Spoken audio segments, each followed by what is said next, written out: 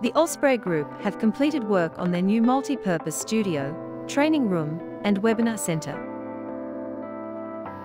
The spacious demonstration area has a Geberit unit installed, as well as an overhead track hoist.